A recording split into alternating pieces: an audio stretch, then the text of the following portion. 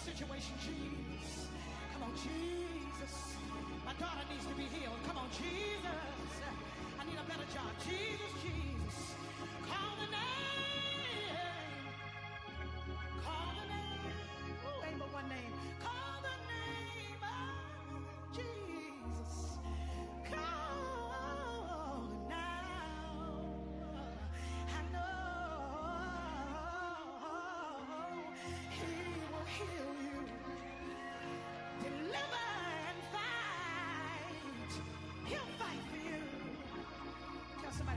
Put down. He'll fight for you.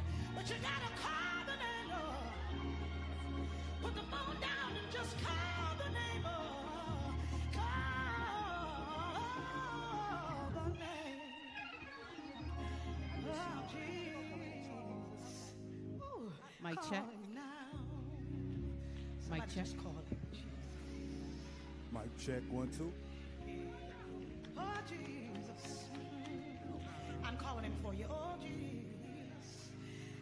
Feel don't feel anything different. What's going on, St. Stephen? This is Reverend Juan Q. Smiley, the young adult minister here at St. Stephen Church. I'm here to talk about Sunday school. Yeah, that's right, Sunday school. We have a Sunday school class for the young adults starting November the 5th. November the 5th is the first Sunday in November, and we'll be starting our brand new Sunday school class at 11:30, or right after Sunday morning service. It'll be held in the old uh, bookstore right here at St. Stephen Church. So please come out and be a part.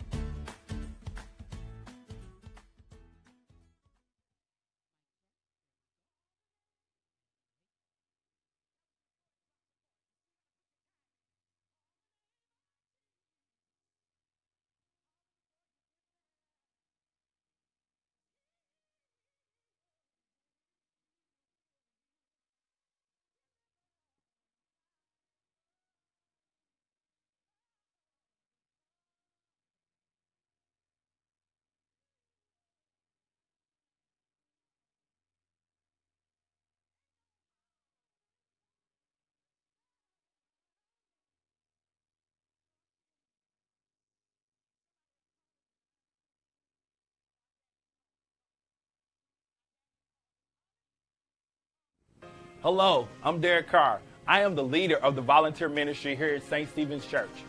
I need your help. The church needs your help. So we are looking now for leaders our helpers for our SSC security team. So what does that look like? What what do you even need from us? Oh, so I'm asking for people that may have strong communication skills. I'm asking for people who can make good judgment, not be impulsive. You know, just make sure that you're able to help someone else who may not be able to help themselves. Now, this is all for in light of something uneventful may happen, but we want to be prepared and we want to make sure that we have a safety plan in place. And guess what? If you volunteer for that ministry, you can help us see that through. Now, one thing that would be helpful if you're a former police officer, military, EMS, or work any kind of service job, we would love to have you be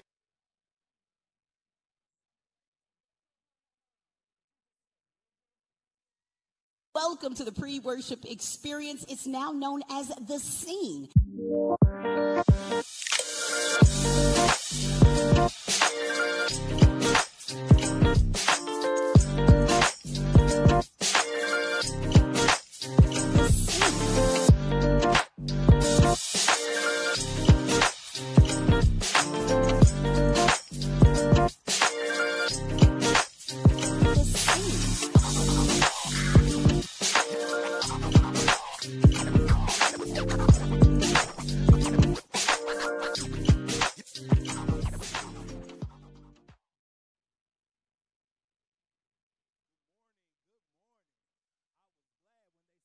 Unto me, let us go into the house of the Lord. Even when it's cold, God is still good. Yeah. Ah, but I'm here. Amen. we are so thankful to be here this morning. I am sitting beside my sister. It's my brother. WDRB. so glad it is none other than Crystal Goodner Spratt. Oh, yeah. Thank you so much. Give us love. And it's always a pleasure when I come into the house. Let me tell you, it is freezing out there.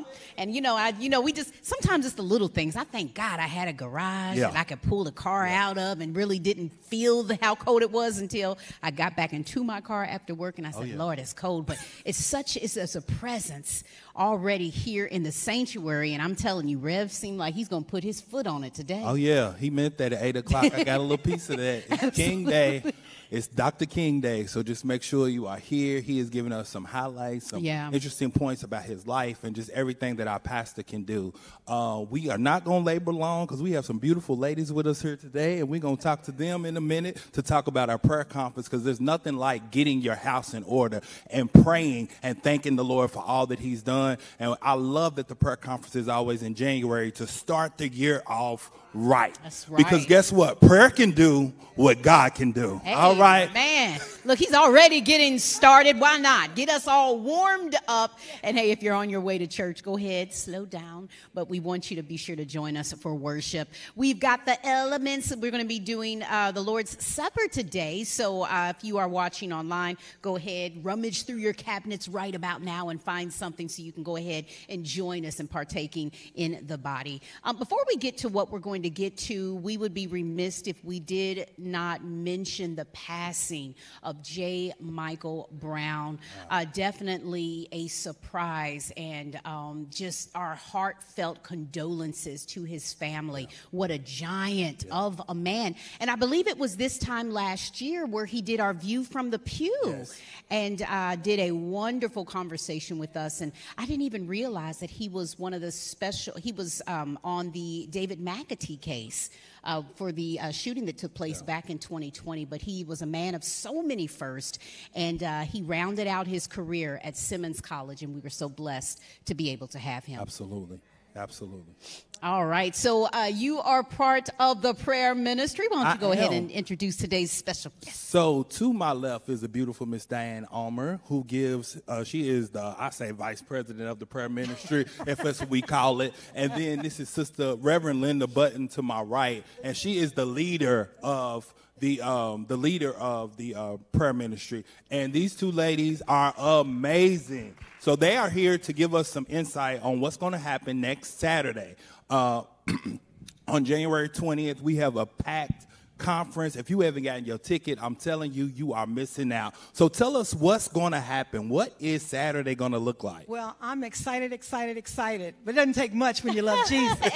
When you love Jesus, you want everybody else to know him. Absolutely. And you want to know the prayer that he puts in our hearts. We can't live without prayer. It's like having, it's trying to live without oxygen. That's it. for a Christian. We have to pray in order to breathe and to live. So the prayer conference is this Saturday on the 20th from 9 to 12. We have a dynamic um, speaker lineup. God has some anointed preachers that are coming.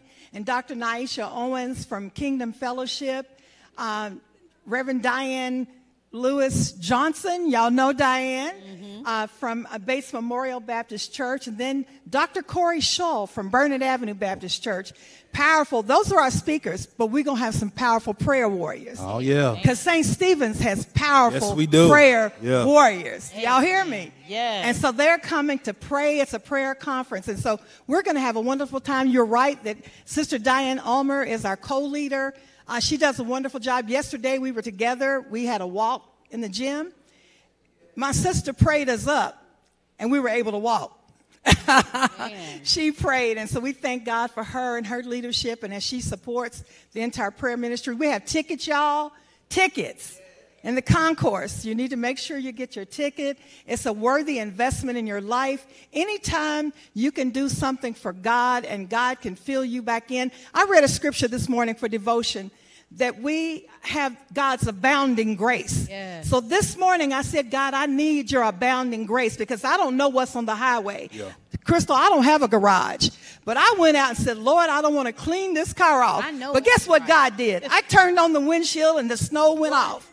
So that's abounding grace. Do you understand what I He's That's good abounding like that. grace. I felt a He little is. bit of so that whatever, whatever morning. questions you got, Derek, I I, just just wanna- set it let off. me say this real quick. I have noticed how each year you begin to add new elements to your conference, and uh, just talk a little bit about what you're hoping that uh, attendees will get this year and how it's going to differ Amen. from years Our in the past. vision for this year, and our pastor actually gave us the vision. That we wanted to get other churches, sister churches. It's about the church universal, not just about St. Stephen's. But all of us should be praying. We're living in such a season and time in our lives, and Pastor's gonna, he dealt with it earlier at eight, that if the church does not pray, Yeah. if my people who are called by my name would just humble themselves, turn from their wicked ways, and seek his face, then we would hear from heaven. And what would he do? Heal our land. That's what we need. So, what do we need? Healing. So, we want the church universal to come. So, that's why we have speakers from several churches, other uh, churches that will be coming to pray.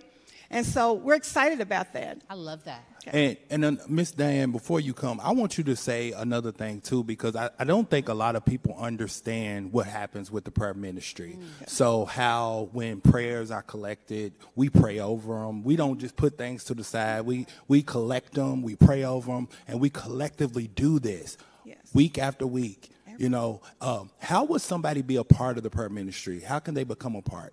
Miss Diane? The prayer requests that were sent? Well, no. How do they ministry. be- Become a become a part part of the prayer ministry? Oh, becoming a part of the prayer ministry. Well, we are always available for um, to talk with you one on one about becoming a member. We have team meetings on Saturday morning uh, where we talk about how we can be of service to the church as a ministry, and the prayer requests that we get they they come in constantly you know in several different ways. They can uh, come from just standing in the hall talking with someone and someone will come up to you and say pray for me.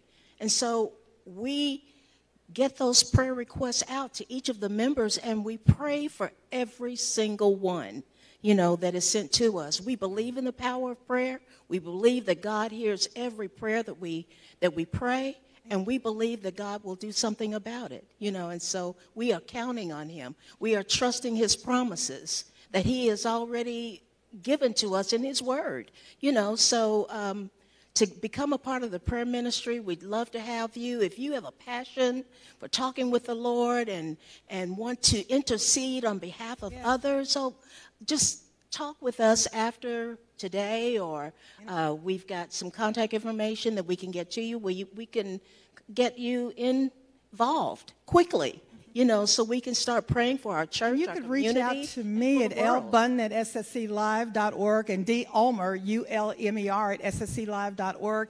We will send you some information about the prayer ministry.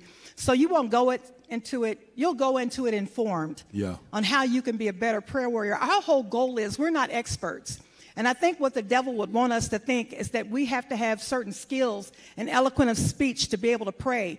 That's not what God is looking for. Right. He's looking for a heart with a passion for Him, a passion for people, a passion to want to see this world be better and for us to be better Christians. So all of us can pray. Amen. All of us can pray. So we invite you to join us. Amen. Amen. Um, again, we encourage everyone to take part in this prayer conference, which is coming up next Saturday. And let me tell you, my prayer life has always been good, but now when I tell you it's taken to another level, being in this new position, and, yeah. and I love it when uh, the word tells us that His strength is made perfect in our weakness. Yeah. And let me tell you what the Lord told me. And I remember coming into this position, and there's some areas in which is all new to me. And He says, You're going to have to lean and depend on me daily. So you best believe as I'm driving into work and I'm in that car, I'm just asking and inviting God, God, fill me, God. Tell me, you know, lead me in how I'm supposed to uh, act. And God, whatever it is that I'm supposed to do, God, just feel me. And uh, just the beauty, just the power of prayer has really been revealed to me this year. Sister Crystal, that's the first thing I do before my feet hit the ground Yes. every morning. Is that I ask God to fill me with His presence. Yes. Linda can do nothing Come without on. God. Apart from Him, I am nothing. But when I ask Him to fill me with His presence, it's not a one and done. We should continually ask God to fill us All day with long. His presence Yeah, all, day, all long. day long. And Crystal, you're right. I found myself sitting in the midst of really difficult meetings. Mm. I'm in the room, I'm praying. Me too. They talking, I'm Hey. praying.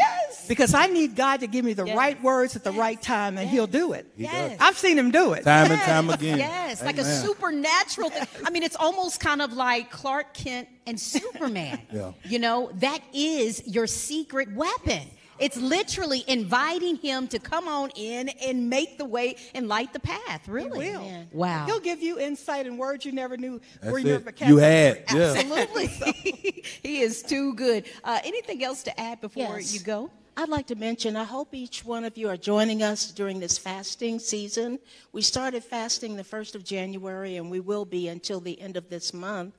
But God has already pr- provided us with an increase. We now have Seek His Face prayer services in Indiana and Hardin County now. Amen. We didn't have that before, you know. And so our Hardin County campus is with us on on Wednesday nights this month at six o'clock. Hope you're joining it. Joining us for the prayer call at six o'clock, but they are true witnesses in Hardin County as to they bring it every, They're every powerful. Wednesday night. you Hardin know. County's off the Oh, chain. it's a blessing. And join us Wednesday night. Really, it's a 30 minute call. We don't keep you long, Yep. but we pray strong. That's right. man. And so they're I- powerful. can I go ahead? No, no. Before you going to No, go ahead. Before we go, our community. Uh, I was doing an interview with someone, and actually it's Pat Matheson, and she said West Louisville is on fire. And it's not in a good way. Okay. And uh, the news yesterday of the four year old little boy who was shot in the head and passed away on yesterday. And so there's so many issues surrounding West Louisville. Could you do a prayer for our community before you go? Absolutely. You ready for Amen. Let us pray. Our Father and our God, in the name of Jesus. Hmm. God, we feel the pain of this moment, oh God. Our babies are precious to you, God, but even more also to that mother that lost a baby, Lord. We just pray for the covering of the family and whoever the perpetrator was or whatever the incident is, God, you know. God, this community needs you. And God, bring us back to our foundation. You have been our foundation. You have been our rock and our strength. As Crystal just alluded to, in our weakness, you are our perfection.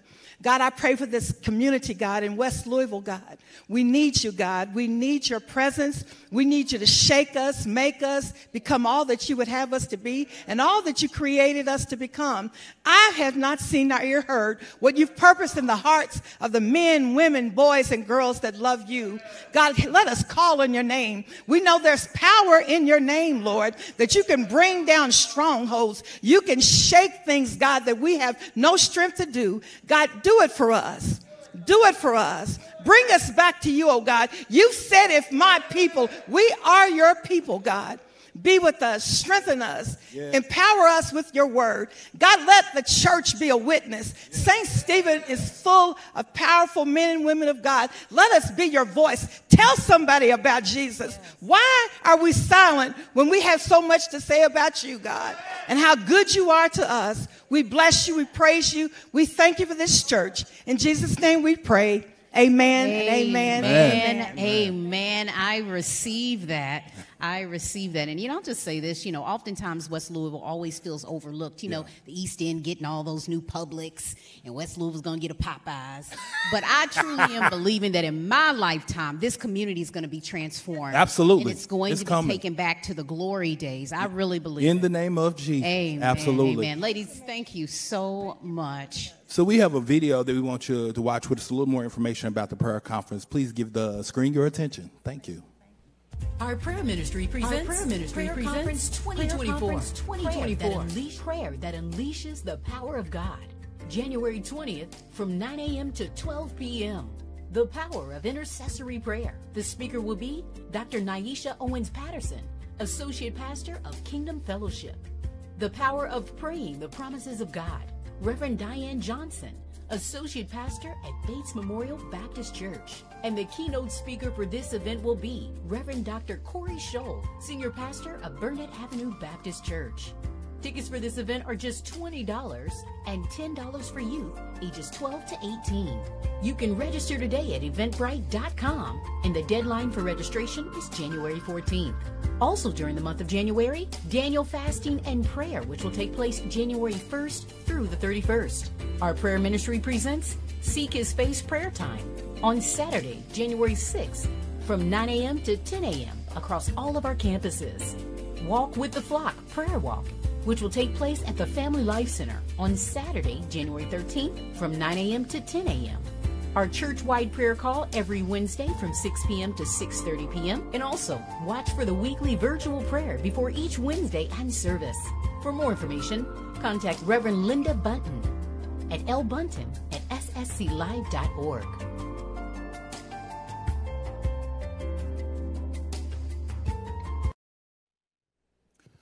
We are back, and I hope that you will be a part of next Saturday. Get your tickets today for the prayer conference.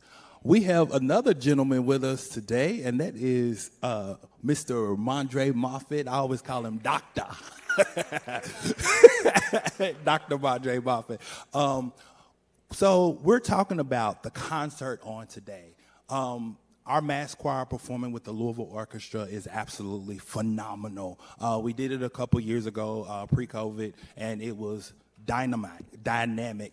And uh, so we wanted to tell you that initially we had said the concert will be at 3.30. It's actually going to be at 3 p.m. So please make sure you are here today. You don't want to miss it. The choir has been preparing. The orchestra is ready. It's going to be amazing.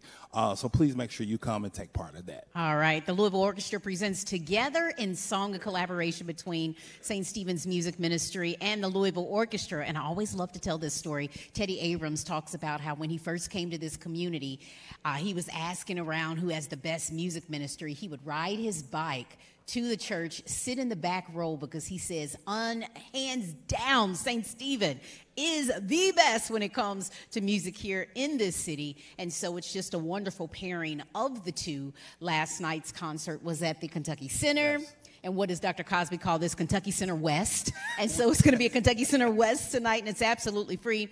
Uh, Dr. Moffat, talk about your involvement, and you know someone very special that is uh, part of the production.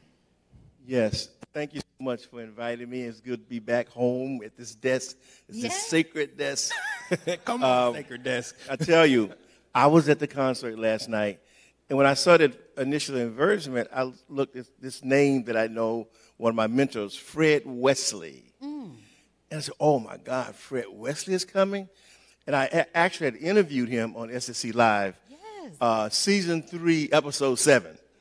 So you can go and get season three, episode seven, and hear my interview with this legendary uh, musician, uh, Fred Wesley, who was very much involved with the movement of the 60s. He was the music director for James Brown. Wow.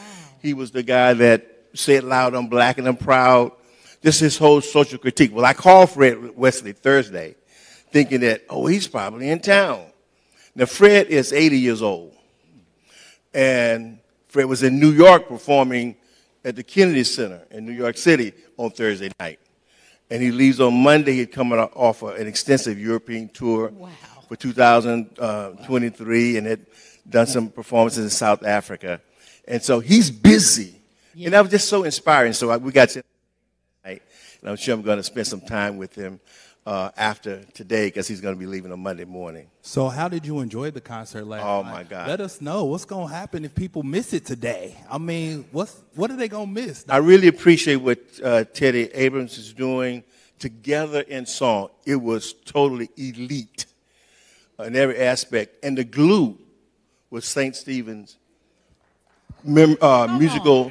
Man, the glue. Uh, the glue, St. Stephen's music ministry under the fabulous directionship of uh, Kevin James. I'm just, I just sit back and marvel at what they're able to accomplish with so many different things and, and, and the way they're able to move and, and always excellent. Yes. And so, uh, and then uh, I just told Jason his piece was like a finale mm. in the middle of the, so Jason Claiborne, mm. uh, it was just a really phenomenal concert. I was just so, so, uh, I, my wife was with me and we were just we stayed uh, about two hours after the concert at a wow. reception. Wow. And I had a hard time sleeping because mm. the music keep playing in my head, you know. Mm. But this wow. bringing together of those uh, black music is what my uh, is my scholarship, mm-hmm. and so I was just so pleased to see that black music is in a sense getting its due, mm. uh, all of the attributes because you know, that was a time when if you played black music, the question was, oh, do you play legit? Mm. Uh, it was referred to, the assumption was black music, it must be illegit. It was, if you play classical music, it was legit. And so, therefore, if you play black music, it was illegit. So uh, we had to live through that. Yeah. And so those those concepts and those misrepresentations are really uh, changing. And we know that is nothing but a lie. I, grandmama would uh, be rolling over her grave if she heard me say lie, because black music is the foundation is. of all other All music, genres. yes. You and I had an opportunity to do Oh, a yes. music history presentation a couple years back, and it was so great. Starting from the drum, uh, the usage of the drums with African music, and the evolution of different sounds of music. And so you're saying that everybody is in for a real treat. I, I know there's going to be a different experience. I'll be here because even though it's the same concert, but it's a different venue. Oh yeah. and that makes a world of difference. So uh, we don't know what to expect because it's spontaneous music is impro- is invoking improvisation. So um, Teddy Abrams were inviting people to dance uh, at the Kentucky Center.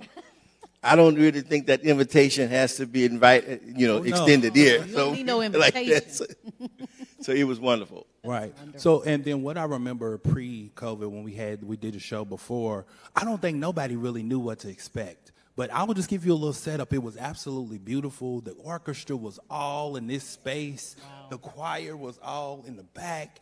We just praise the Lord mm. the way we do with the full orchestra. And I'm telling you, if you do not come today, you are going to miss out.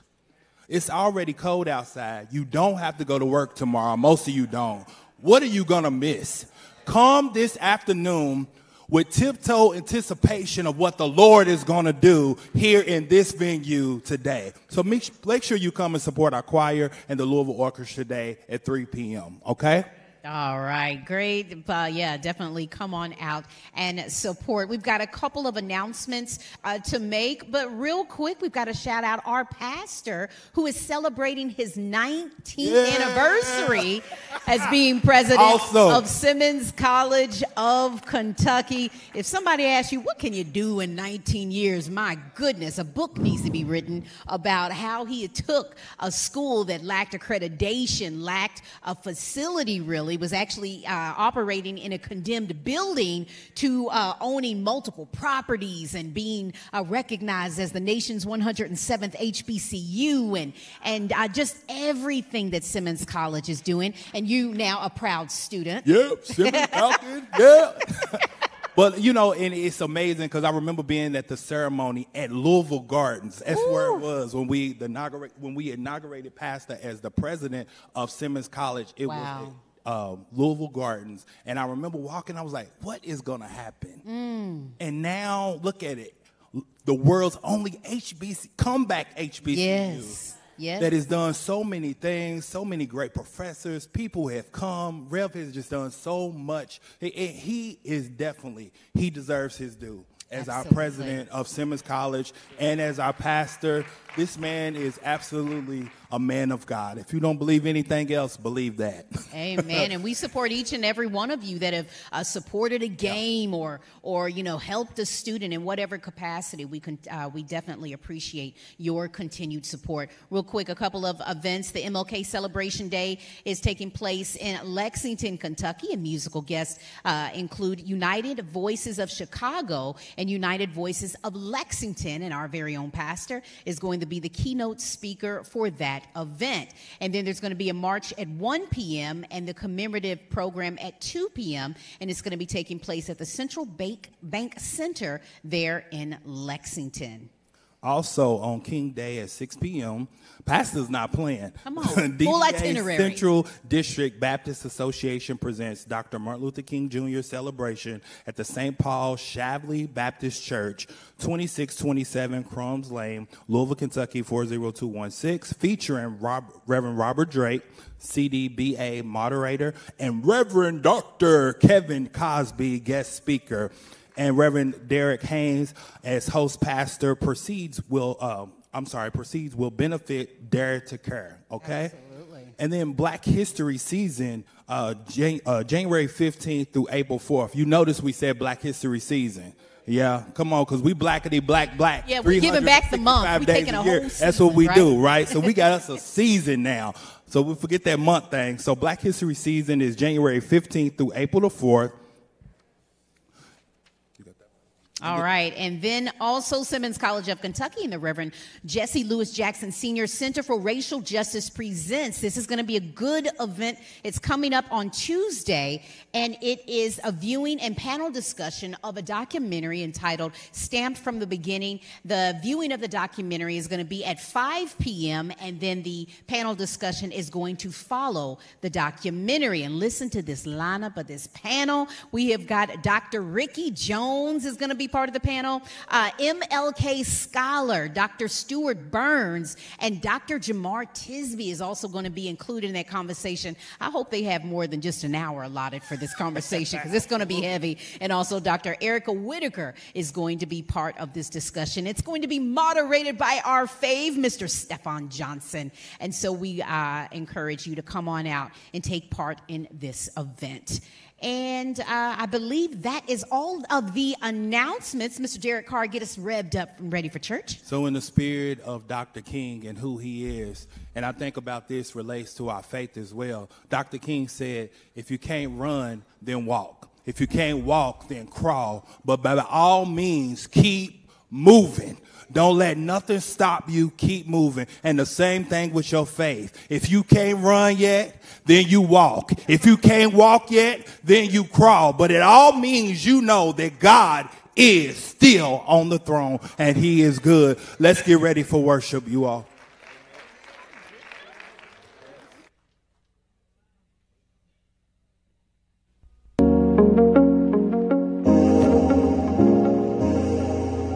When I was in college, I went to when hear this preacher, college, and he, he was a manuscript and he, preacher. He was a manuscript. So he was the first person who made a profound impact on my style. He liberated me to preach, to, to feel like I could do uh, this assignment that God had called me to. When I went to seminary, I was exposed to men like Dr. William Augustus Jones, God's program is personality centered and personality directed. Uh, there can be no leading without a leader. Like Dr. Gardner C. Taylor. When the only thing you've got, the, maybe the only thing America has that is still independent is the black church.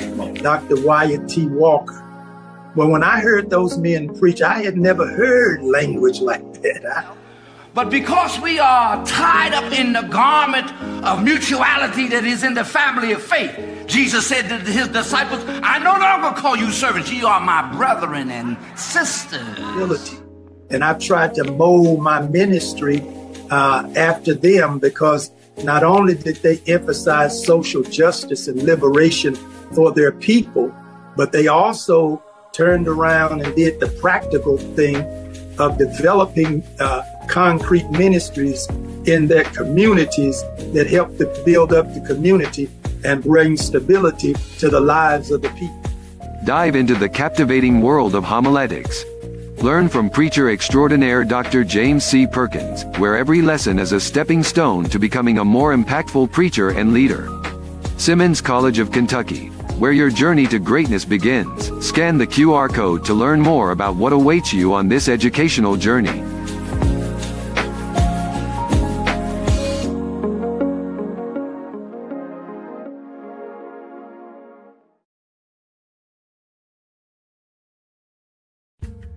Prayer ministry presents Prayer Conference 2024 Prayer that unleashes the power of God. January 20th from 9 a.m. to 12 p.m. The power of intercessory prayer. The speaker will be Dr. Naisha Owens Patterson, Associate Pastor of Kingdom Fellowship.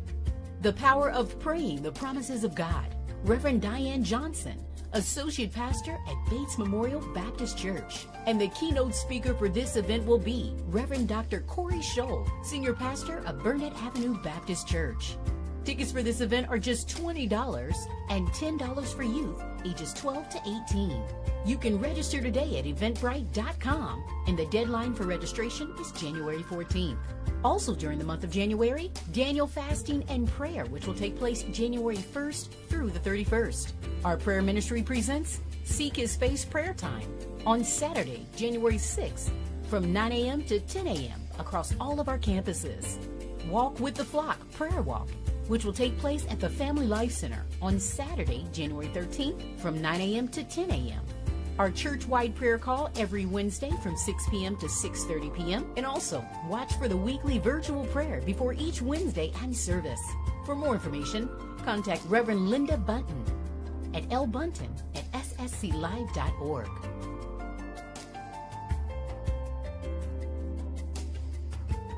St. Stephen Baptist Church's men's ministry presents its virtual book club.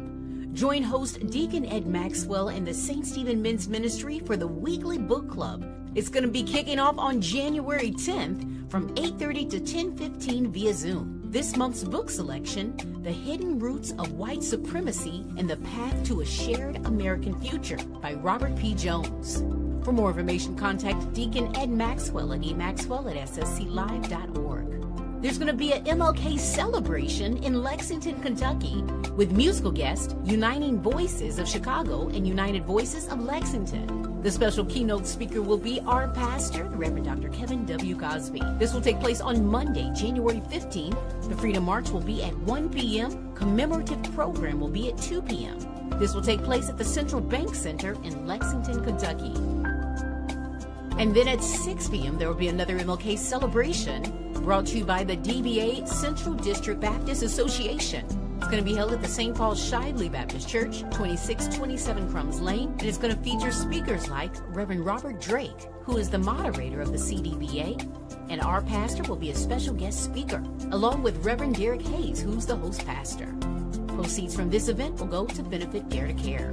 And then on Tuesday, January 16th, Simmons College of Kentucky, along with the Reverend Jesse Louis Jackson Sr., Center for Racial Justice, presents a viewing and panel discussion of the documentary Stamped from the Beginning.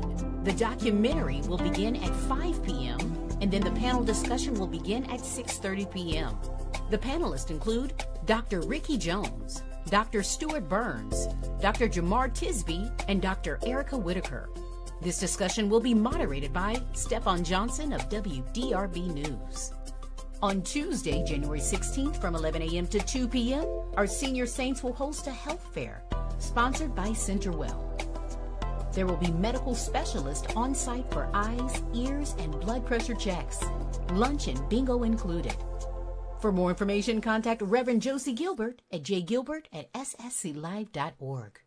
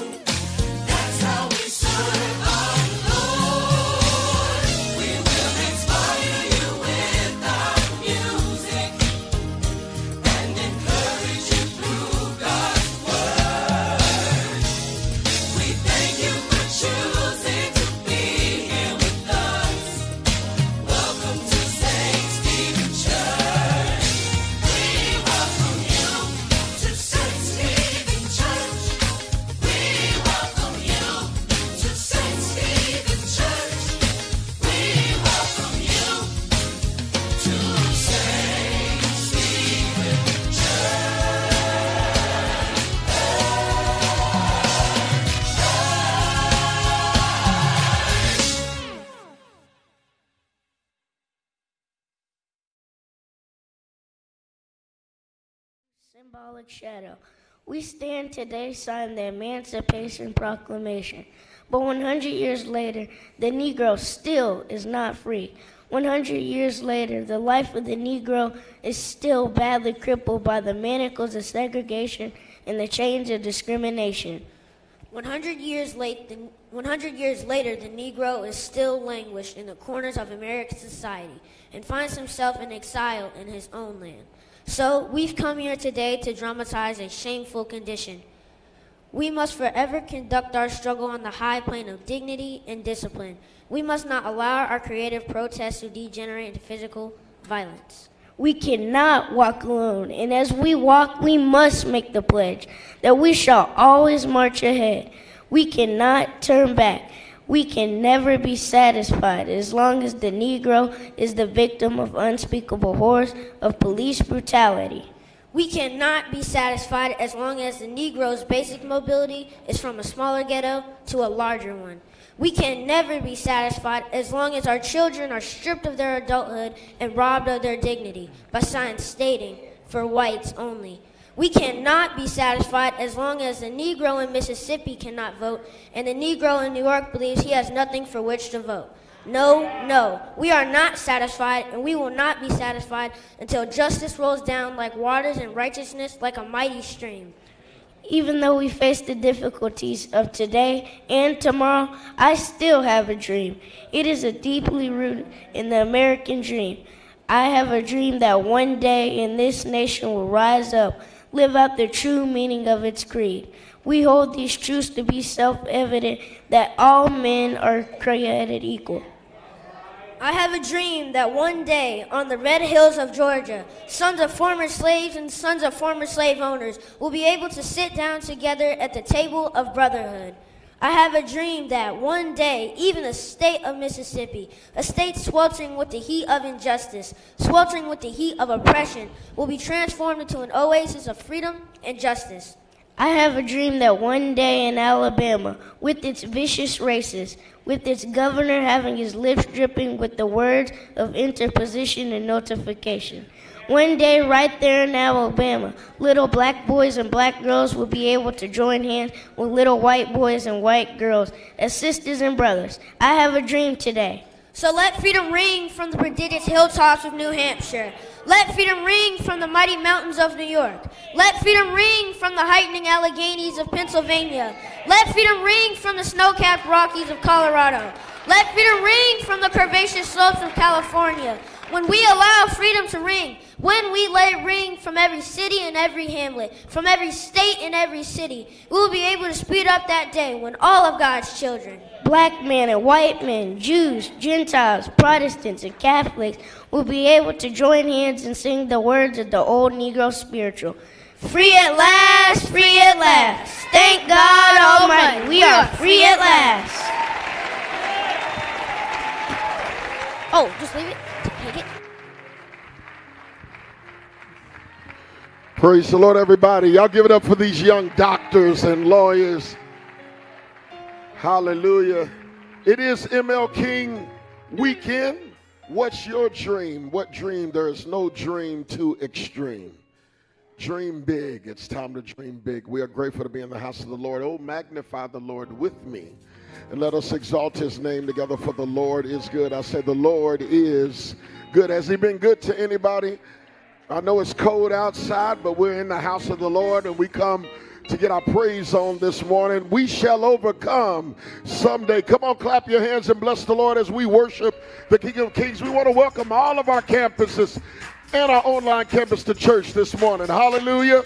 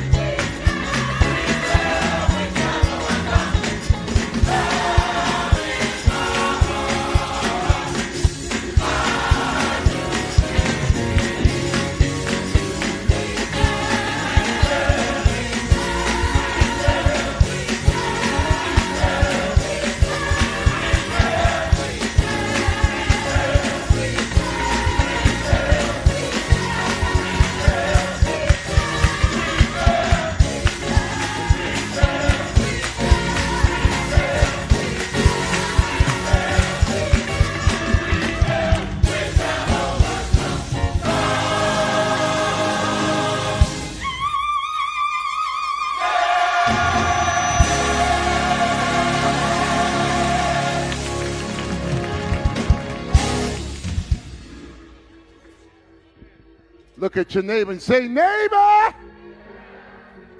we overcoming now. Give God praise one more time. Hallelujah. Hallelujah. Hallelujah. This is a season of prayer. Um, we have a wonderful prayer ministry that has put on a wonderful conference that will be held on January the 20th. Everybody say January the 20th. Prayer conference will be here. I believe that you're going to have a productive life, a, a, a life full of abundance, you have to do it with prayer and praise. Amen? Somebody say prayer and praise. Direct your, your, your attention to the screens, please.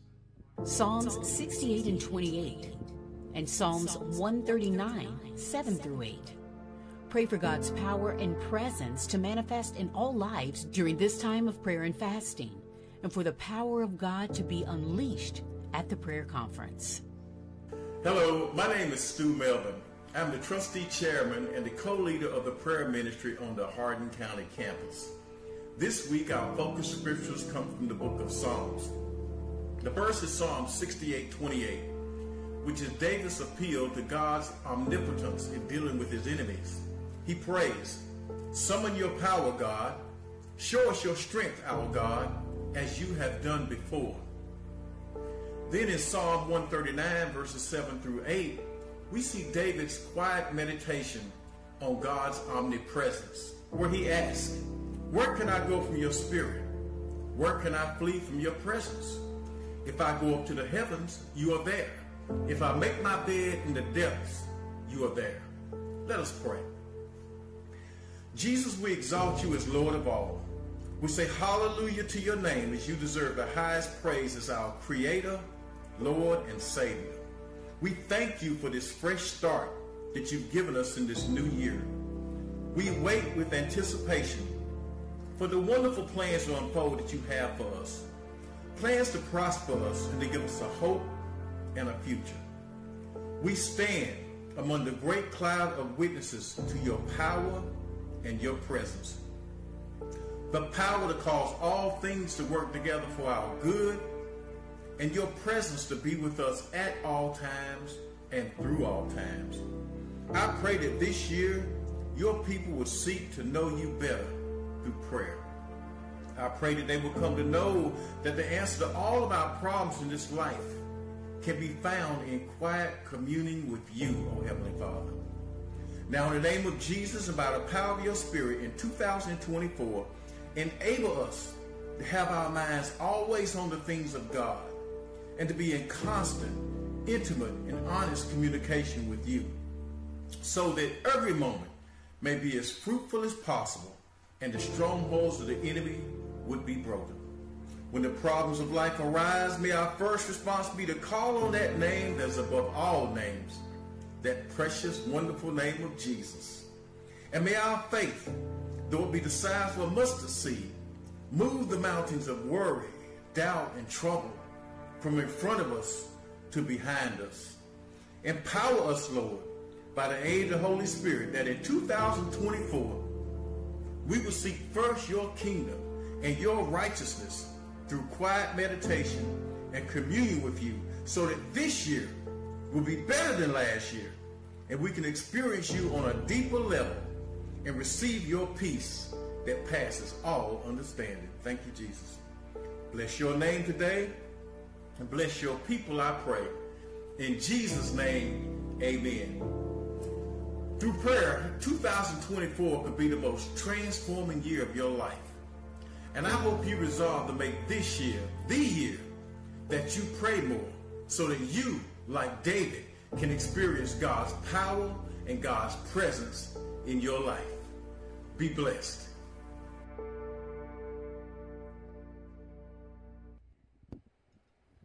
Amen. Our scripture reading this morning comes from the book of Romans, chapter 15, starting with verse 1 through 7. Reading from NIV, uh, the Word of God reads, We who are strong ought to bear with the failings of the weak, and not to please ourselves. Each of us should please our neighbors for their good, to build them up. Even for even Christ did not please himself, but as it is written, the insults of those who insult you have fallen on me. For everything that was written in the past was written to teach us, so that through the endurance taught in the scriptures and the inter- encouragement they provide, we might have hope. May the God who gives endurance and encouragement give you the same attitude of mind toward each other that Christ Jesus had, so that with one mind and with one voice you may glorify the God and Father of our Lord Jesus Christ. Accept one another, then, just as Christ accepted you, in order to bring praise to God. Amen.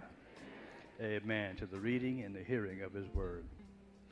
We're blessed today to participate in the communion of our Lord Jesus Christ.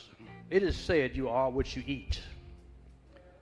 This is one of the few ordinances that uh, adds calories to your life. Amen? With the intent to ingest and digest all that Christ has done, all that Christ means to you. Jesus said, Do this in remembrance of me as we participate in this communion of our Lord Jesus Christ. We're honored today to have this communion. We are honored today to have this blessing. Let us pray to upon this ordinance of Christ as we participate one to another. Eternal God, we thank you, Lord, for this occasion to again do what you ask us to do in remembrance of you. We thank God for this occasion. We thank God for the blessedness of this uh, ordinance, that we might be more like you. We thank you, O oh God, for all that you did for us, so we could do more for you and more for each other. This is our prayer today in the strong and perfect name of Jesus Christ, our Lord, as the communion is being served.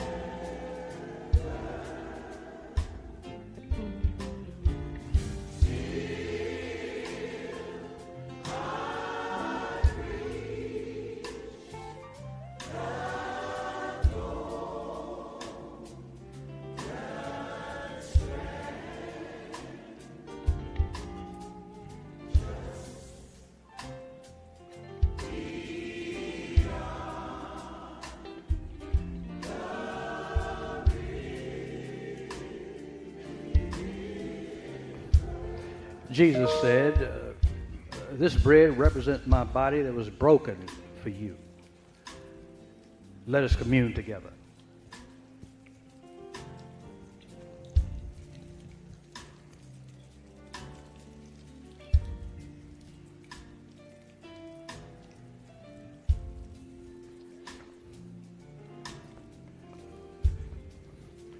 As we take the wine, Jesus said, This is my blood that was shed for the remission of your sins. Let us all commune together.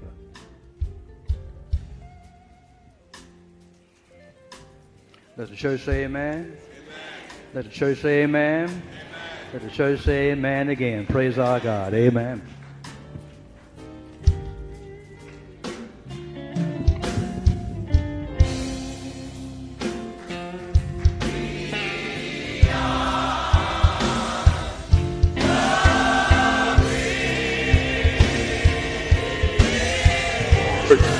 That chorus. In the cross. In the cross.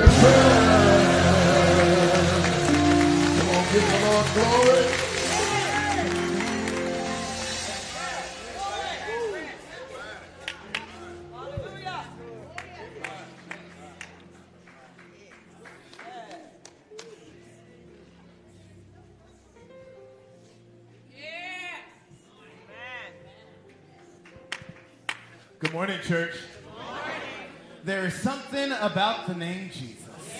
Mhm. I'll say it again. There is something about the name Jesus. And when I woke up this morning, I didn't really know why that song happened to be on my mind and in my heart. And then I walked outside and it was cold. I said, Jesus. it was real cold. And even on the way to church, and I was like, uh, the verse it says, um, um, uh, some people say I'm crazy, but I can't explain the power that I feel when I call his name. It's just like fire, right? Shut up in the bones, right? So at the name of Jesus, it'll warm you from the inside out.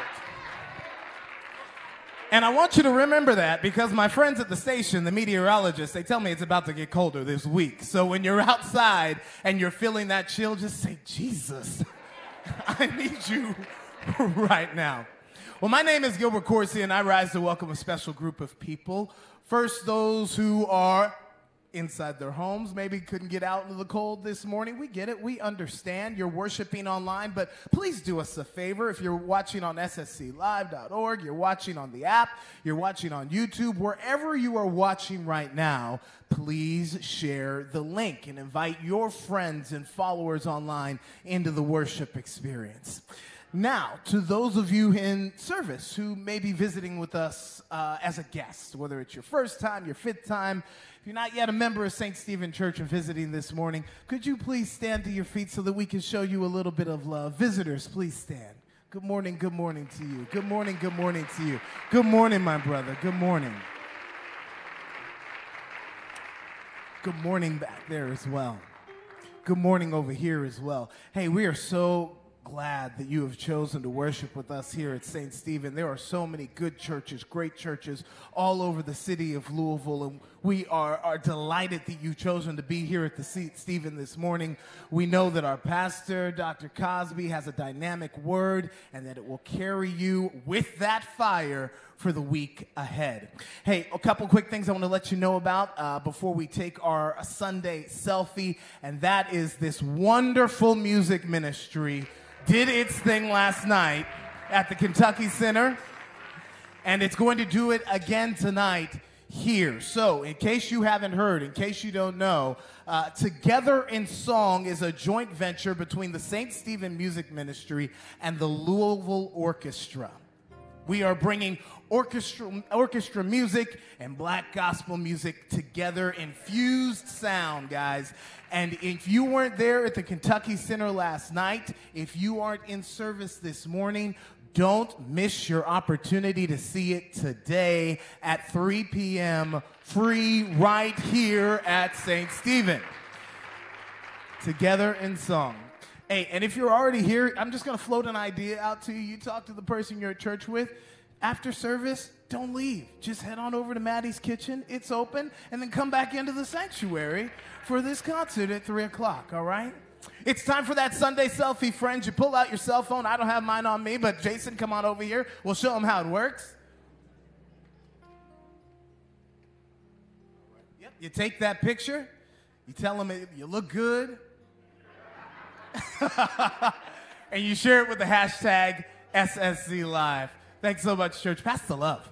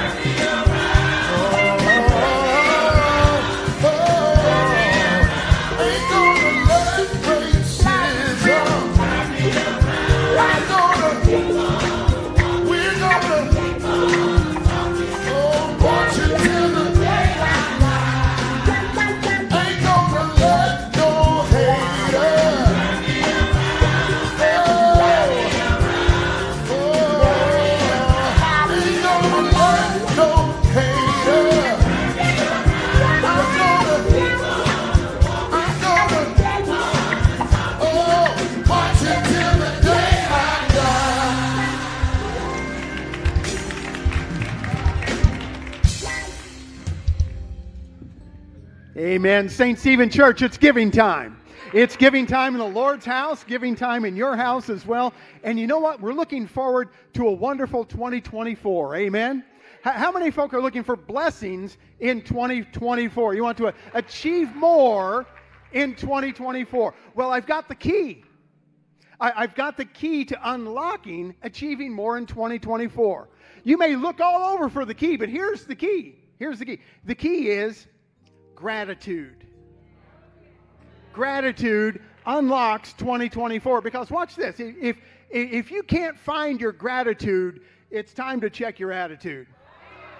You, you got you got to approach this year with a heart of gratitude. And, and, the way we express gratitude is we come before the Lord with God's tithe, with our offerings, because we are blessed to be a blessing.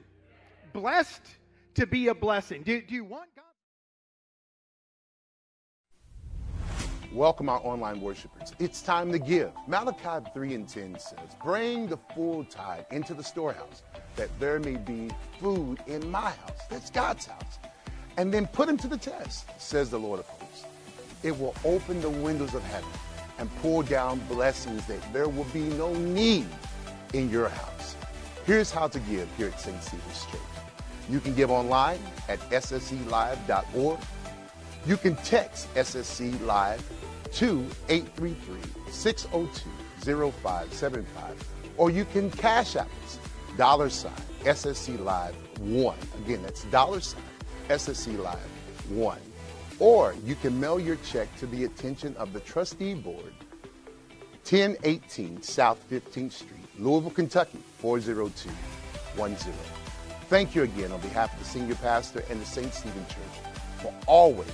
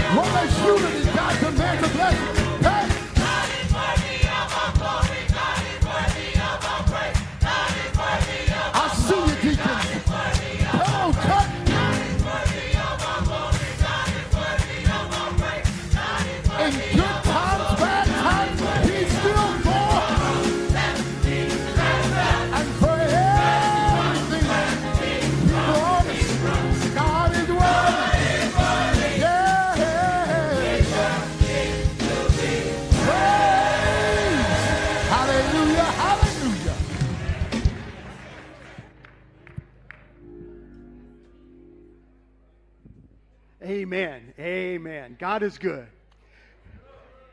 Amen. I said God is good. All right. All right. A, a couple of things we want to share with you as uh, it is uh, MLK weekend. You, you, you know what? MLK weekend, Martin Luther King weekend, is actually the opening of a new season, right? It- it's the opening of Black History season. Now, now, now, watch. If you're just thinking February, you're not thinking big enough. Right. Black, Black History season is a season that, that commences this weekend, commences with the birthday of the Reverend Dr. Martin Luther King Jr., right, on the 15th of January, and goes all the way through April 4th, the anniversary of the martyrdom of Dr. King. So it's, it's not just a Black History Month, it's Black History season. And we're, move, we're stepping into the season this weekend, right? And, and there's, there's so much. And you, you know what? I want to encourage you to check the website for St. Stephen Church, ssclive.org. Want you to uh, keep up with all of our social media for the many events that are going to be coming up during this Black History season. But coming up directly, coming up very soon, now, just want to let you know on Monday, which is tomorrow, MLK Celebration Day in Lexington, Kentucky, with musical guests uniting voices of Chicago and uniting voices of Lexington.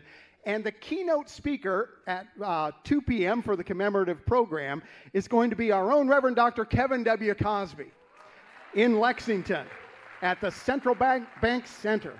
Also, tomorrow at 6 p.m.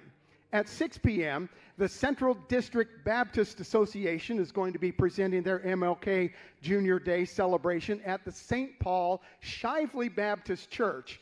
And um, the, the, once again, our featured speaker is going to be our own pastor, the Reverend Dr. Kevin W. Cosby.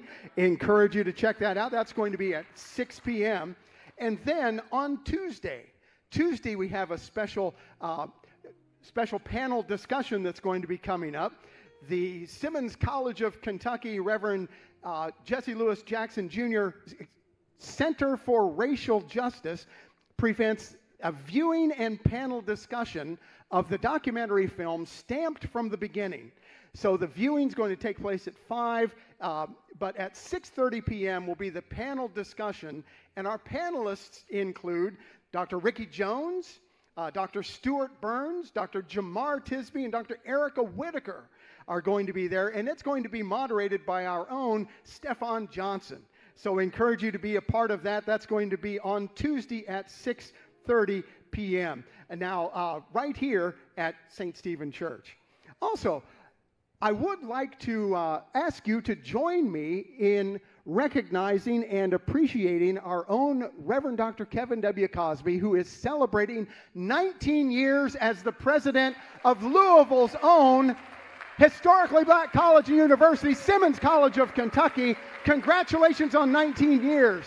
President Kevin Cosby. God bless you. God bless you. Now, uh, one other one other note, just to let you know, the, the weather is going to be getting colder as we go through the week. So the Not Done Yet crew, uh, our senior ministry, their Tuesday program is going to be canceled due to the weather. So safety is our number one concern. So we, we love our seniors. Uh, we, we have some prayer concerns that we'd like to be sharing with the congregation, certainly. Uh, prayer concerns, first of all, for uh, the family of J. Michael Brown. J. Michael Brown passed on Friday. He was a beloved member of the, the, the, staff at Simmons College of Kentucky. Pastor can certainly say a little bit more about that in a few moments. But uh, what a terrific leader, what an amazing leader for our community. Uh, J. Michael Brown, so we want to be keeping his family in our prayers. Not only our community, but the entire state of Kentucky owes a debt to the service of J. Michael Brown. So we want to be keeping him in our prayers. Also, uh, Joseph Scott's mother passed, so we want to be keeping that family in our prayers as well. But let's go now to the Lord for a time of prayer together. Let's pray. Heavenly Father, once again, we come before you, before the throne of your grace and mercy, recognizing you, Heavenly Father, as the source of every good and perfect gift. We pray, Lord, for those who are going, undergoing uh, their walk through the valley of the shadow of death in this hour. We pray that you would give them support and encouragement, afford to them that peace that passes all understanding. Heavenly Father, we know there are those near and dear to us who are on their beds of affliction, who are uh, infirm, who are dealing with sickness and illness. And Lord, we just pray in intercession on their behalf that they would experience healing a divine healing, a healing not only of body, but of mind and of spirit as well. Heavenly Father, we pray for West Louisville. We recognize, Lord, that you have established us in this community that we might be effective intercessors for this community. Lord, we pray for the needs, economic, social, all of the different needs in this community, Lord. We, we intercede, recognizing, Heavenly Father, that prayer can do what you can do. So, Lord, we, we open our hearts to you. We pray, Lord, that by your Holy Spirit you would fill us with your grace and mercy that we might be overflowing vessels to show this community the love of Jesus Christ. Be with us now, Lord, as we prepare our hearts to receive your word. We'll give you all thanks, praise, and glory. In Jesus' name we pray. Let's say together, Amen. Amen. amen.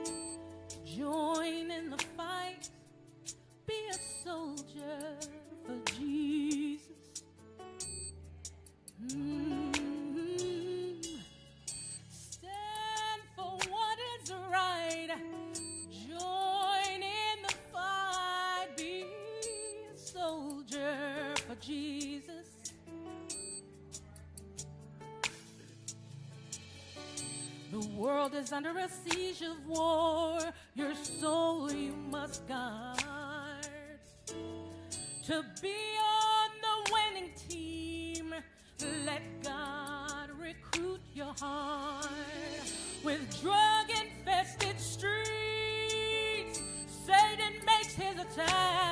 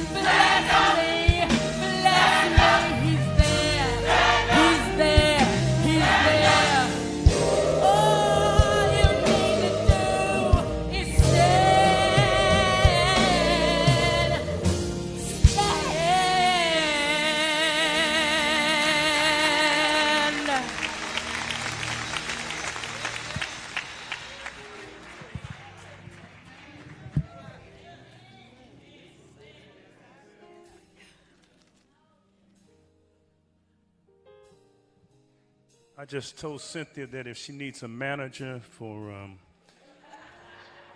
that I'll go on the road with her. That girl can sing, y'all. Let's give her some love. Amen. Boy, so good to see the choir out. Look at you. Look at you, looking all good and sedity and bougie and just looking wonderful. They, they can sing, can't they? Amen. Praise God. All right.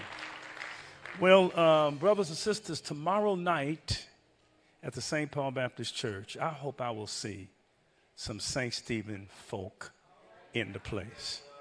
All right? Come on now. We're moving into Black History season. Excited about it. Next month, during Black History Month, during the actual February month, I will be in, uh, beginning a series entitled, listen to this white folk, black folk need to know.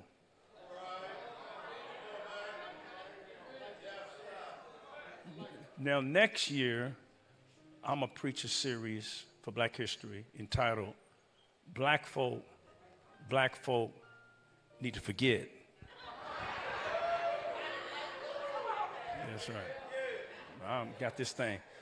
But there are, there is no way the black community could be where it is if it were not for righteous and just white freedom fighters who gave their life to advance our cause.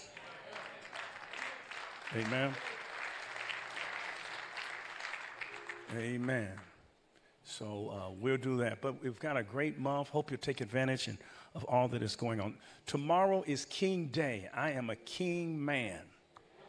I love me some Martin Luther King, Mike King.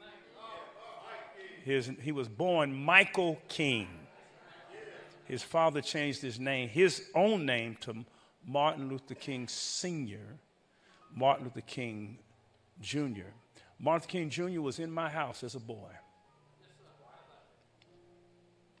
saw with my own eyes.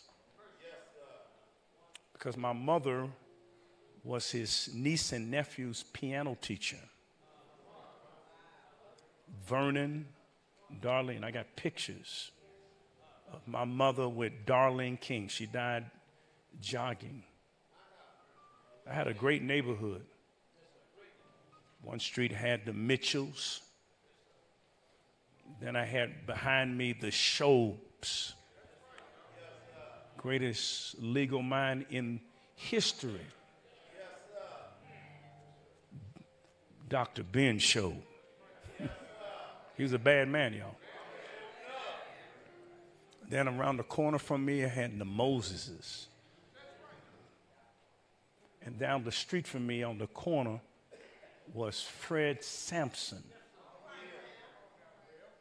How many of y'all heard of a man named Barack Obama?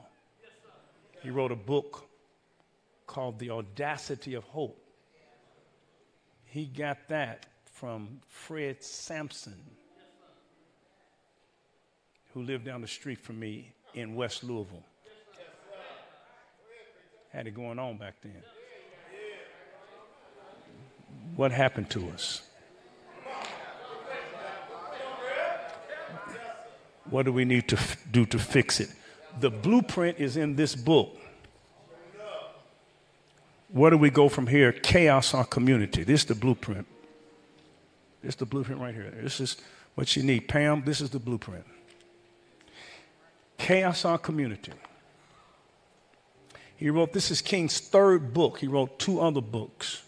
Why We Can't Wait 65 and Stride Towards Freedom in 57. But this book right here is you if you can't if you don't have any book in your library, get this book and just read eight the first eight pages. Take you 20 minutes. Get it. And get the one that's forwarded by Coretta Scott King and also Vincent Harding. So if you can take a picture of that, that's the book. So we'll keep it on the screen. And I want to read, and I'm going to be reading excerpts from the book. Okay? So let me go to page 95. And this is what it says. This is Dr. King speaking, the radical king. Because the king that you will be hearing so much about uh, in, in media and in the public is a watered down, domesticated, housebroken, deodorized king. And this is what got him killed, y'all. A society, page 95, a society that has done something special against the Negro for hundreds of years must now do something special for him in order to equip him to compete on a just and equal basis. One other word. Page three. With the Selma and, and the Voting Right Act, one phase of development in the civil rights revolution came to an end. A new phase opened but few observers realized it or were prepared for its implications. For the vast majority of white Americans, the past decade, the first phase had been a struggle to treat the Negro with a degree of decency, not equality. So, what he is saying is that the civil rights struggle was not a singular movement from Montgomery, where Rosa sat, to Memphis in 1968. It was not a singular movement, but it was a movement with two phases. He said phase one was the fight for decency Phase two was the fight for full equality. And most folk love only the first phase. And when the, when the king that you hear about is the king of the first phase, Amen. But you don't want to hear about the king of the second phase. The king of the first phase was launched at his parsonage, 309 Jack, South Jackson Street, parsonage of Dexter Avenue Baptist Church. And it was a fight for decency but the second phase was really being coordinated in his hotel room in 306, room 306 Lorraine, the Lorraine Hotel at 450 Mulberry Street. And you need to know those two phases. You need to know them one in Montgomery, one in Memphis. Uh, I'll be going to Memphis later this month, Barnetta and I. The three conventions are coming together the National Baptist Convention USA, the National Baptist Convention of America, and the, Na- and the National Progressive Convention will be coming together to uh, forge a agenda to speak to the issues of our people.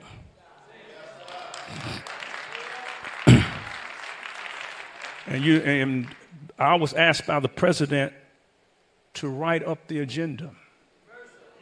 So I, I wrote the agenda, and I will be leading a session, um, moderating a session on reparations with Cornel West, who's on the panel, uh, Freddie Haynes, who succeeded Jesse Jackson, um, Bust, the great Buster Soaries. Amen. And so I'll be going to Memphis later this month. Uh, there's already seven, ten, no, 10,000 people have already registered to go and talk about what we can do to come together to develop an agenda for our people. So we'll be in Memphis. But I know one thing I'm going to do while I'm there. It's what I do every time I, I go to Memphis.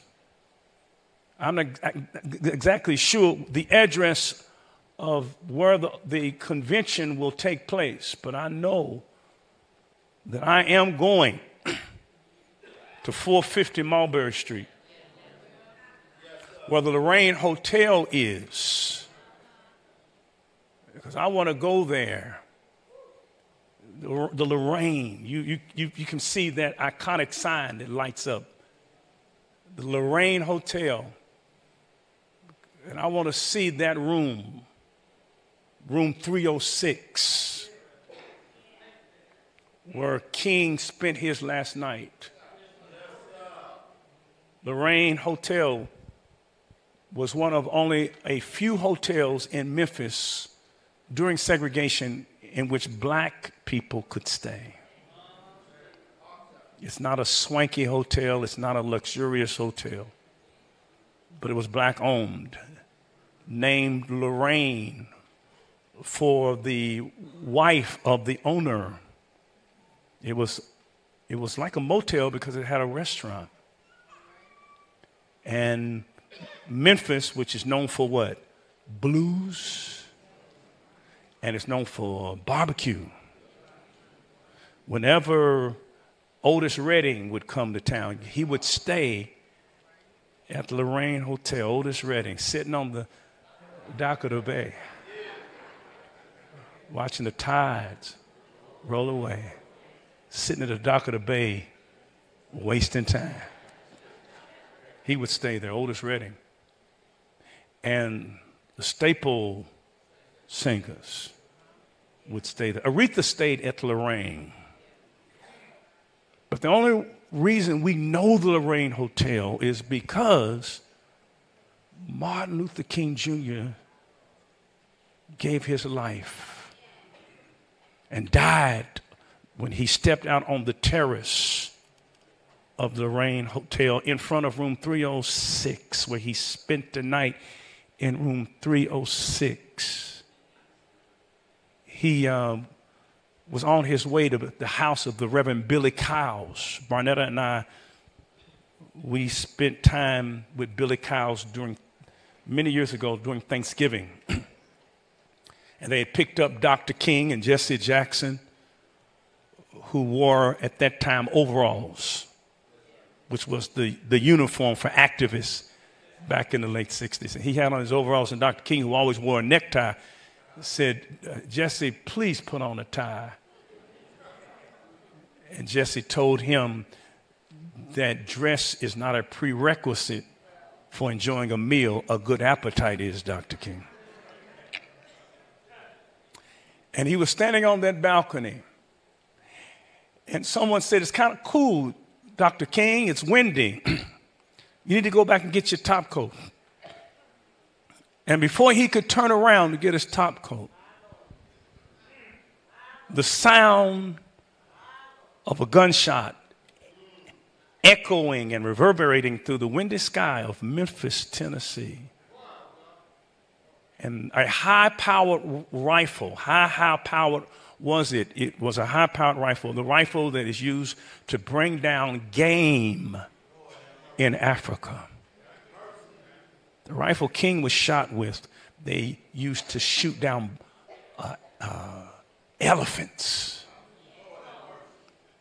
Jesse Jackson was here. We had lunch in my office here, and I asked Jesse, who was there, I said, Tell me about it. He said, Kevin, the bullet blew the knot off of Dr. King's tie and, and, and, and created a gaping hole in his neck. It was blood just poured down. You've seen that picture of Andrew Young and, and King's aides pointing across the street, Mulberry Street, where James Earl Ray shot Dr. King with that high powered rifle, and King, with his foot propped up in the rails on his back, with blood all around him.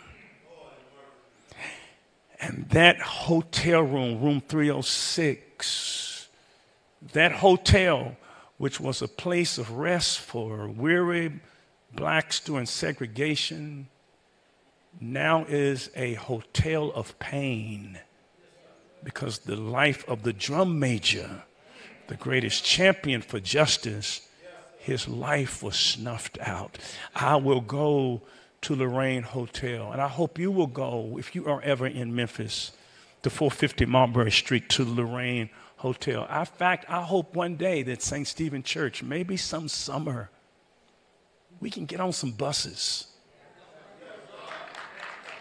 And as a church, we can go to through Nashville and go to Memphis, go to the Civil Rights Museum in Selma, I Montgomery.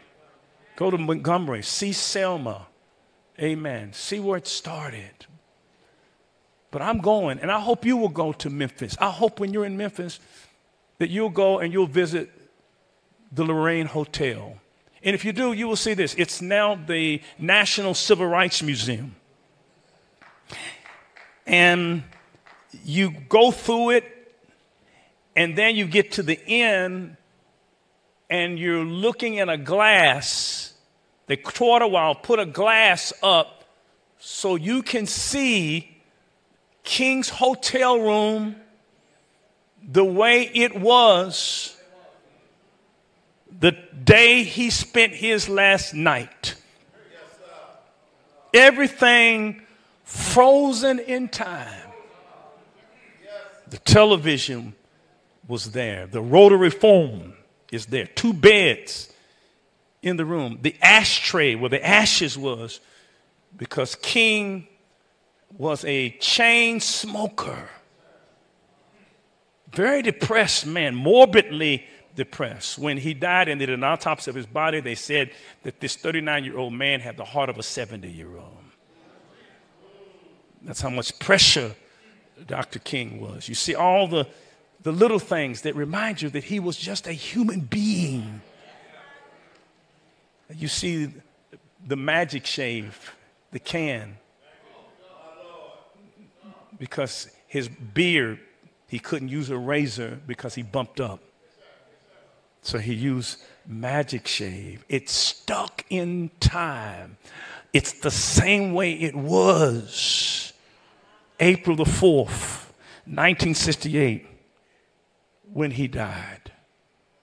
And somehow that room, that iconic room, is emblematic and symbolic of race in America. Because just like that room has not changed in the important areas of racial justice, nothing has changed. R- racism, unending, unrelenting, Has not changed. Now, I know I'm going to get some pushback when I say this tomorrow in Lexington. I'm going to get some pushback.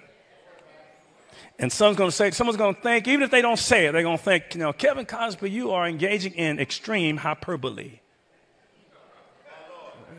Hyperbole, young folk, means over exaggeration for effect. So if I say, I told you a thousand times, well, I didn't really didn't tell you a thousand times, but I use that as a hyperbole for the purposes of, of effect that you're not listening. And when I say that nothing of substance, for which Dr. King was talking about in this book, Where Do We Go From Here? Chaos or Community, nothing, just like 30, Room 306, has changed. And for black Americans, nothing substantively has changed. Now you're going to say, no, wait a minute. You mean if I compare the 60s with 2024, you can't see change? Back in the 60s, you didn't see blacks on Bonanza. Although Mayberry's in North Carolina, where there's a plethora of black folk, you didn't see any blacks in Mayberry. Uh, Daniel Boone was a man. He had a sidekick. Uh, what was his name? I forgot. He had a Native American sidekick. Mingo.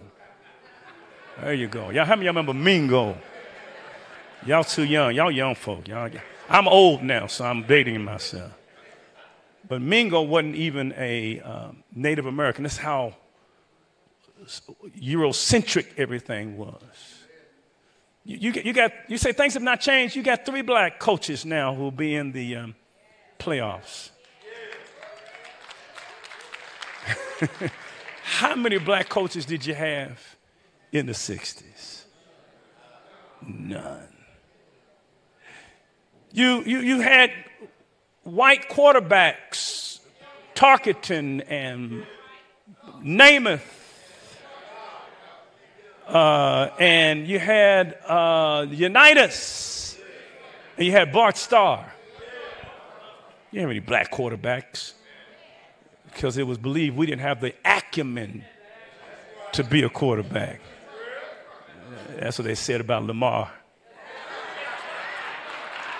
He's, he's redefining the position, isn't he?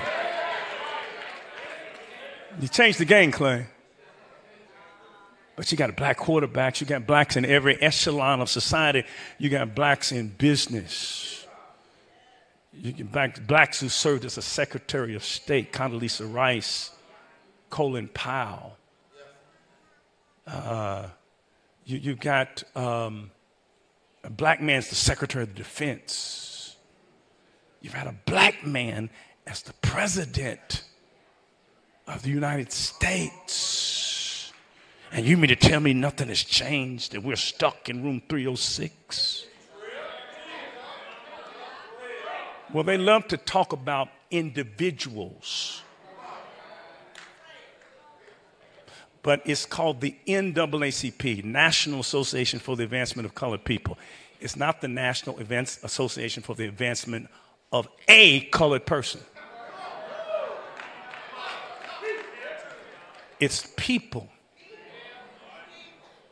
And if you look at where we are economically, and where we were in the 60s, you have regressed. Black home ownership, you had more black home owners in the 60s than you do now. You had less blacks incarcerated then than you do now. You, you see, my brothers and sisters, this thing is a two phase thing. I'm through. He, it's two phases. He said, phase one, I'm, he said, I'm fighting for decency. I'm trying to get us some decency. And I want us just, just treat me right. I mean, if I pay my fare on the bus and sit down, it's not decent to tell me to get up just because of the color of my skin. Are y'all hearing me? If I'm 14 years old and I've been accused of whistling, and then you lynch me, and the lynchers don't get convicted, it's not decent.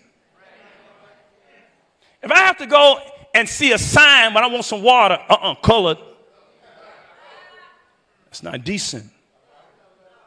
If I can't go to a park just because of the color of my skin, that's not decency. If I am walking down a sidewalk that my taxes paid, and a white person is coming towards me, if I have to get over in the gutter of, of the street to, with my head bowed, that's not decency. So Dr. King's first phase was to fight for decency. And guess what? He won. He won.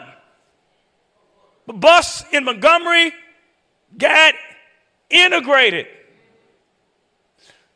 The 64 Civil Rights Bill was passed, which meant you can go to any park, any hotel, drink from any water fountain, sit anywhere you want to sit on a train. And that did not happen until 1964. It was supposed to happen in 1875 with the passing of the Civil Rights Bill of 1875, but the Supreme Court shut it down. You didn't get a public accommodation until 60, 64. In fact, all you have to do, if you don't believe me, go over to TARC, the headquarters on Broadway. Used to be the train station. And, and there's a door with glass in it. And all you, anybody seen that door? All you have to do, you work there, you've seen it. it is just bend down because they can't change it because it's a historical building. And this is what it says when you bend down colored. What does that do to your psyche when you are in a colored section and King fought against that? You, he gave us public accommodation through King and the Civil Rights Movement. You got public accommodation in 64. You got voting rights in 65. You should have got it in 1870 with the 15th Amendment, but they, they, they always twist that thing. They always. So, can I tell you in one sentence what Dr. King did for us? Dr. King, hear me. That's why you don't let anybody say anything about Dr. King. Dr. King made black folk citizens. Bottom line, you did not become a citizen of the country you built until the 1960s. And that's why Trump can't tell me nothing. Because he is the son of immigrants. He is the first generation. I've been here 20 generations. You got a generation. A generation is every 20 years. Every 20 years, you got a new generation. 20 times 20 is 400 years. I've been here 20 generations from 1619. Vivek can't tell me no. Vivek Ramaswamy can't tell me a daggone thing.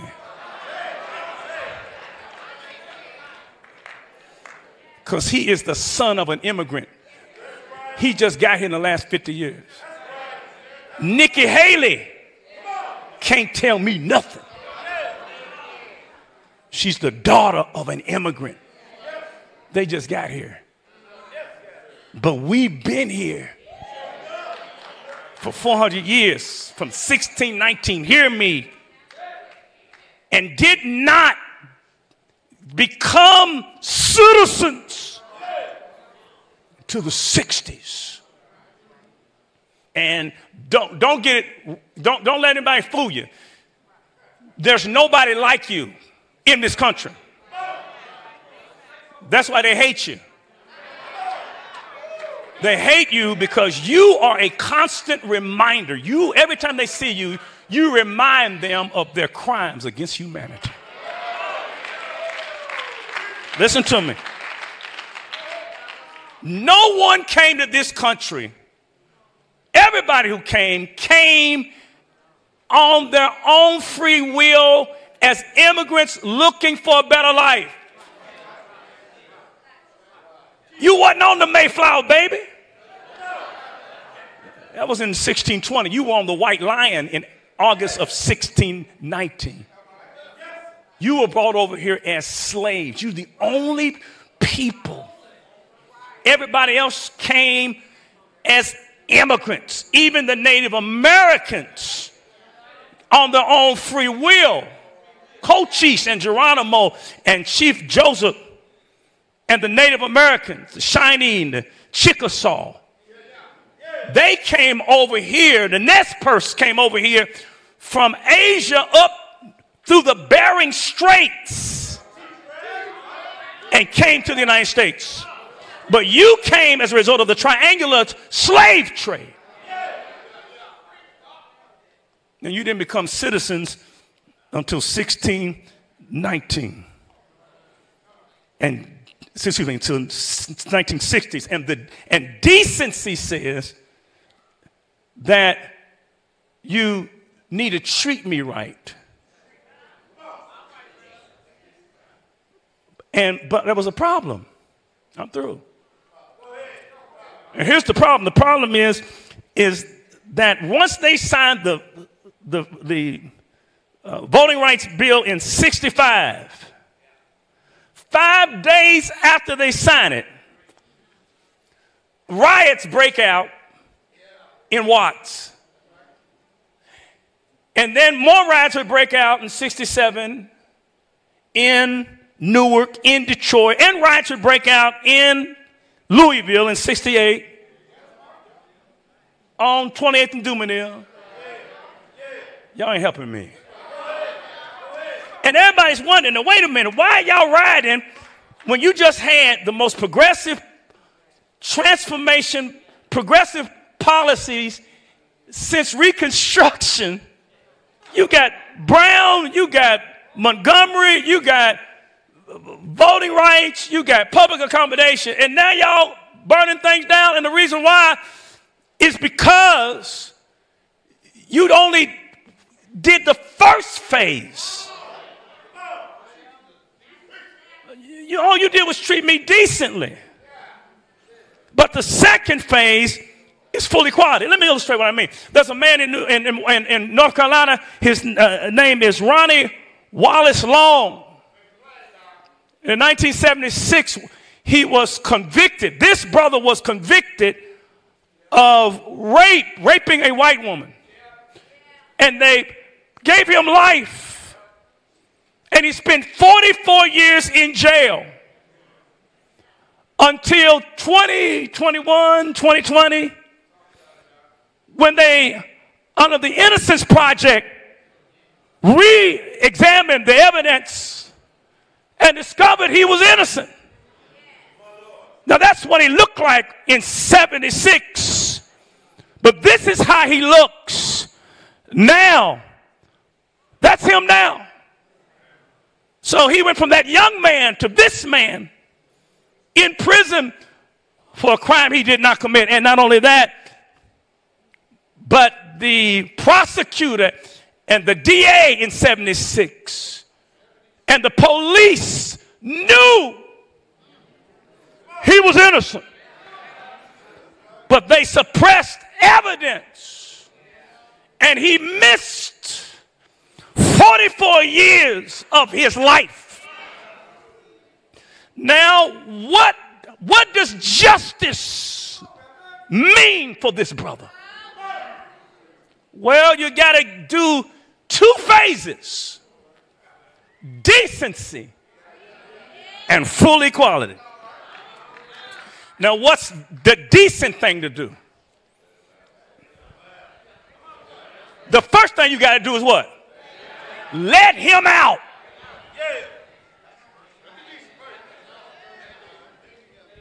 But once you let him out, there is a second phase.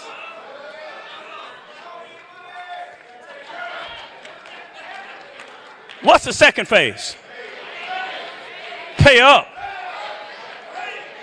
Are you with me? You gotta. And they didn't want to pay him, but he kept pressing his claim and say, You railroaded me. You took 44 years of my life. And they gave him the largest. First of all, they apologized, they acknowledged. And then they gave him $25 million. That's justice. Can I tell you why every city you go to, black folk at the bottom? Can I tell you why Kentucky State and Simmons have the lowest endowments in the state? Because they let us out, but they have never repaired you. And King said that when they said, okay, we're going to let you come in the UK, he said that didn't cost you anything but a mental adjustment. He said, in fact, it helped your bottom line. Because you got better when you let us in. When you let us into your basketball programs and your football program, they would have been going to Kentucky State, but you let us in and you realize, wait, this is a good deal it caused the black community to go down and the white community went up. Their institutions went up because they got the best, the cream of our crop. So it, you had a mental adjustment. He said, but if you want to fix this thing, you got to go to the next phase. See, and the next phase is you got to pay me.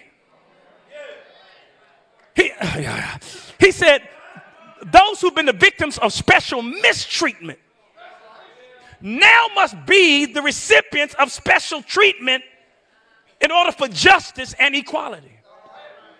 If you steal my car on Monday and you get saved on Tuesday and you still driving my car on Wednesday, you were not saved on Tuesday. Because if you steal my car on Monday and get saved, hallelujah, on Tuesday, what you to do on Wednesday? You go what? Wrong. You ain't gonna bring my car back. You're gonna bring it back filled with gas, tune up, and, t- and look, new tires. You worked 246 years and didn't get a paycheck. That's 220, 222 million hours, $91 trillion. And didn't get a paycheck. I want my paycheck every week. I don't want to wait 246 years. And when you were fired,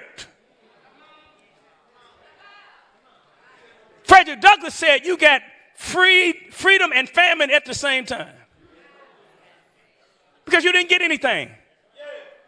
He said you got freedom to be hungry, freedom to be cold, freedom without land, freedom without food to eat. It was freedom and famine at the same time. And the only reason that they did it was not because they loved you, they needed you. Because the Union was losing the Civil War. Ah, General McClellan had Lee cornered at the Battle of Antietam in 18 62. But he let Lee escape. Could have ended it. Went on three more years, two more years, three more years. Could have ended it. But he let him go. And Lincoln said, We're not going to beat Lee. And somebody said, You're not going to beat Lee unless you get you some colored soldiers. So they signed something called the Emancipation Proclamation as a war document. in order to get us to fight. And 200,000 of us fought in the Civil War and saved the Union. You think Lincoln freed you? You freed Lincoln. Come on, talk to me, somebody. And they started recruiting us because they needed us. They had a campaign to get us into the military. They had a little jingle they had. It was, uh, they say, said McClellan, no, no, no, no. Uh, they tried to tell us how, when it just begun, how to win the, you, how to win the war. Uh, but uh, Kentucky had his angst and Lincoln had his fears, but the Union needs to be saved by the colored volunteers. McClellan took to Richmond 200 soldiers brave, said, I'll save the Union if you keep the Negroes behave. McClellan had his way, the Union had his tears. But the Union could be saved if you have the colored volunteers. So let us rally, boys. Let's rally. Let us never mind the past. We got a hard road to travel, but our day is coming fast. For God is for the right, and we have no need to fear. The Union will be saved by the colored volunteers. And the colored volunteers fought like, like uh, William J. Simmons, my predecessor, fought in, in the Battle of Petersburg and was there at Appomattox and watched Lee get off his horse, traveler, to surrender to Grant. And Grant had a horse named Cincinnati.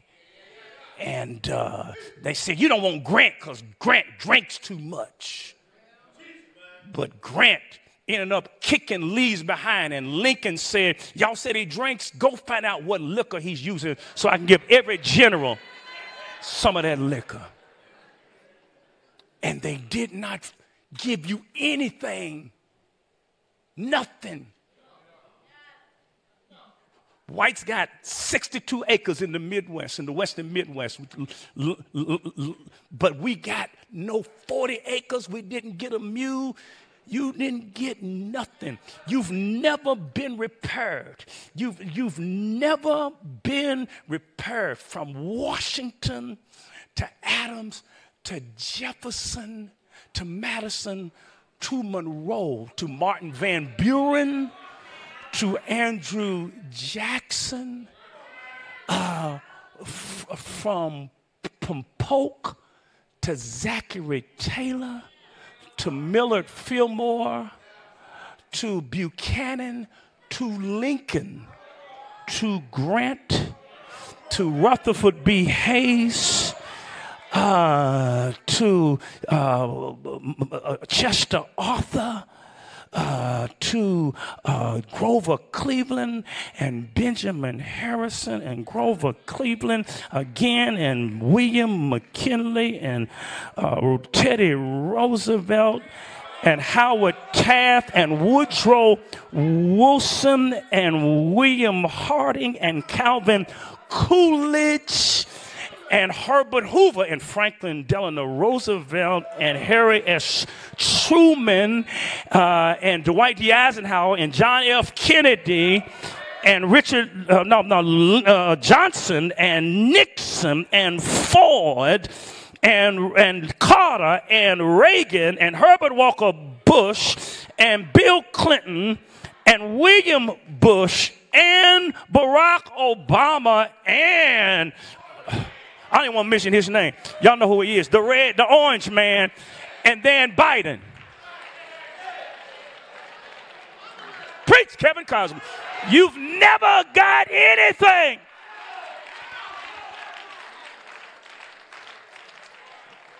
They don't even want you to know what they've done. And that's why they don't want you to read anything. They are changing everything. They're taking us back. And they don't want you to know what I'm talking about because if they can block awareness, then they can dodge responsibility.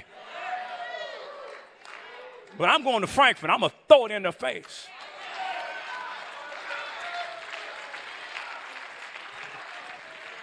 I'm going to say, You might not pay me, but you owe me. Now I know some of y'all saying the preacher, you been you get a king, you don't quote a king, I ain't seen no Bible. I know y'all. Y'all gonna put me on Facebook and all that kind of stuff. I don't care. So just for you legalistic folk, let me give you a scripture. It's called it's Deuteronomy 16, 19. It's called Do Not Pervert Justice. If you stole something from me, if you stole my labor, if you taxed me to build parks I could not recreate in and taxed me to build schools I couldn't go to, you owe me.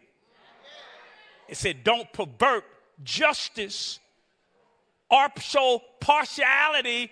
And that word partiality in Hebrew is the word face. In other words, don't look at my face and say, okay, I'm not going to, just because your color. I'm going to be biased towards you. He says, don't take a bribe. In other words, don't lie just to get in office.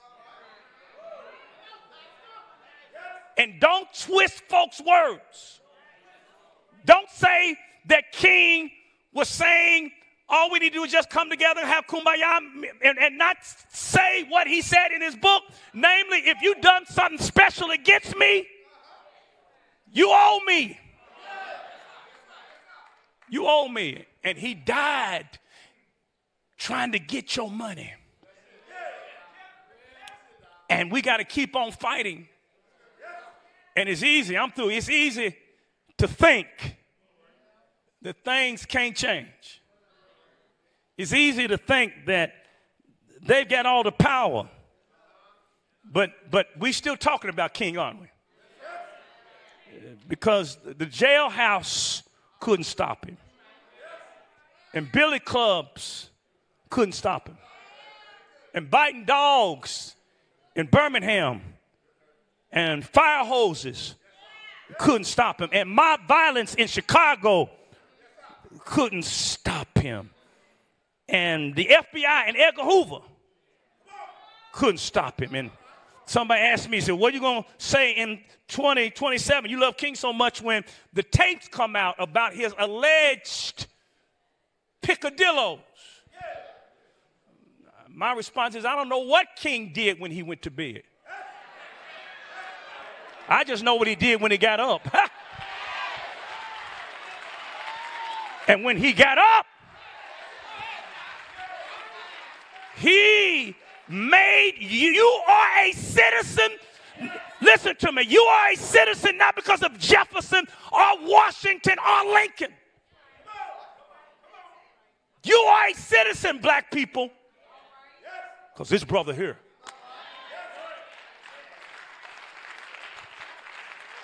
And I'm going to keep on fighting. And it's easy to think that you can't win. But let me tell you why you can win. You can win because the man has some power. But the man don't have all power. Do I have a witness in here? In other words, Trump can't cancel the sun. Congress can't push back the stars because he don't control the stars. He can't shut down gravity because they don't control everything. Every time you breathe in and breathe out, that's because they can't suffocate air. Because God controls Oh, they can't stop spring from coming. They can't stop the birds from singing. They can't move the sun where the moon is and the moon where the sun is because they don't have all power. And whenever you think that the enemy has the upper hand on you, you ought to remind yourself that they don't have all power.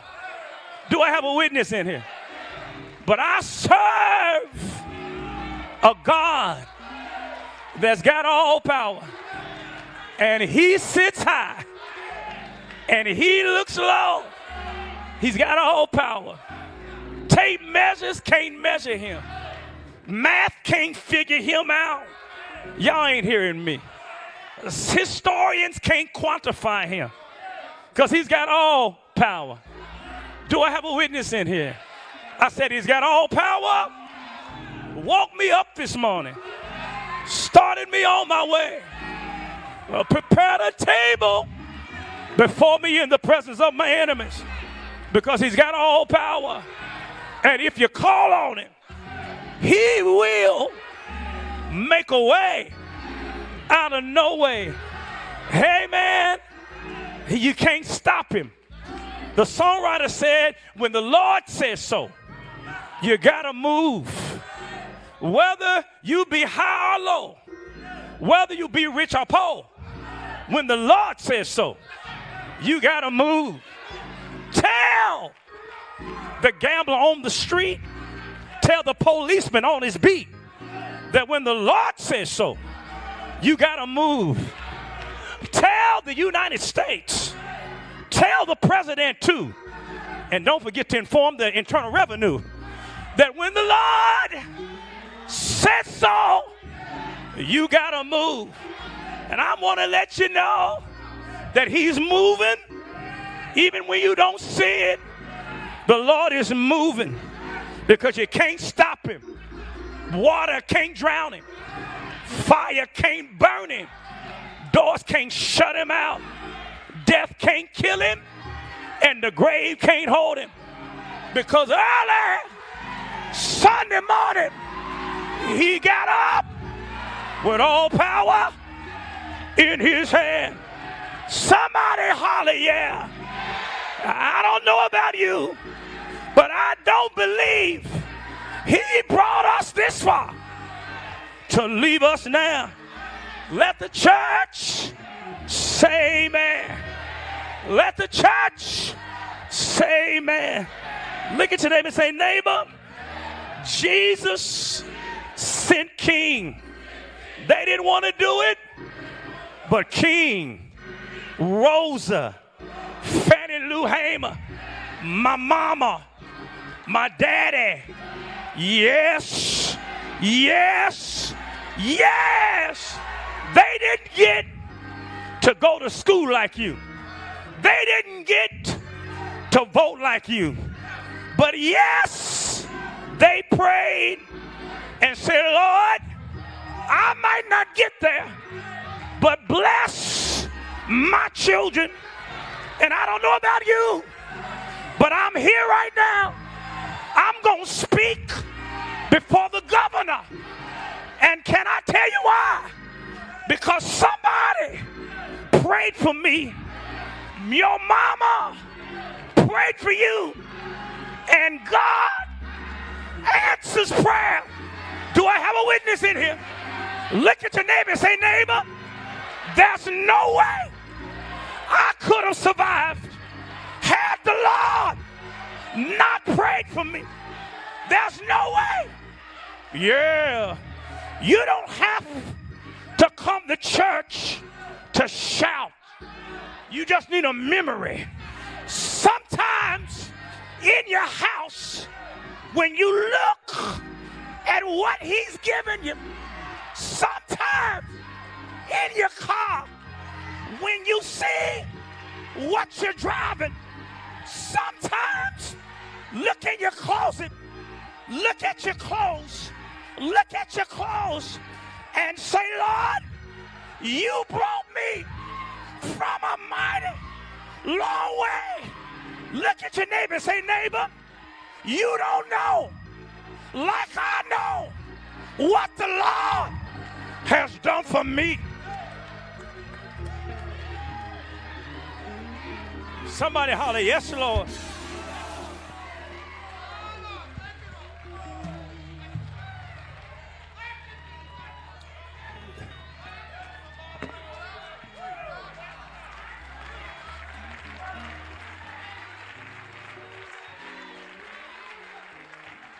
Let's, let's stand all over the worship center.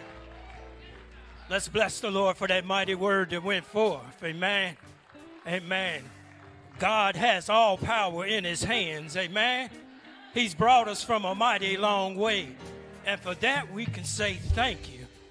Maybe you're here today and you don't have a personal relationship with our Lord and Savior Jesus Christ.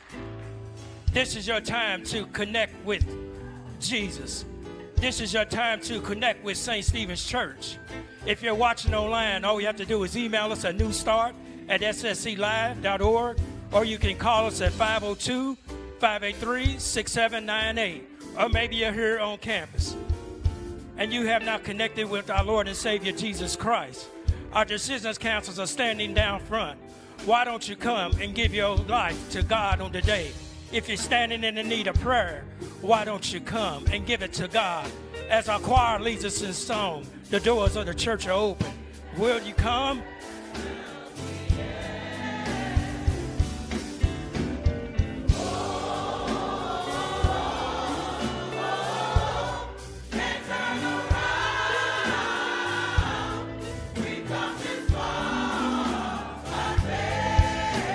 Will there be one?